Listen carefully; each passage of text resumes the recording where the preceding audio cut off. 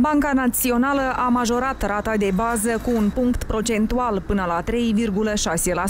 Unii experți spun că acest lucru ar putea duce la scumpirea creditelor oferite de băncile din țară. Deci atât persoanele fizice cât și persoanele juridice vor uh, trebui să economisească mai mult în cazul în care decid să mă atrag un credit din partea băncilor comerciale sau uh, vor achita un cost mai mare la mijloacele trase anterior. De cealaltă parte, alți specialiști susțin că nu există niciun risc pentru cei care s-au împrumutat cu o dobândă flotantă sau abia au de gând să o facă. Aceasta nu va uh, nu va avea consecințe nefaste asupra costului uh, creditului bancar sau accesului la finanțele, la, la finanțele accesul la finanțare din partea sectorului privat. Asemenea, decizii au un impact întârziat.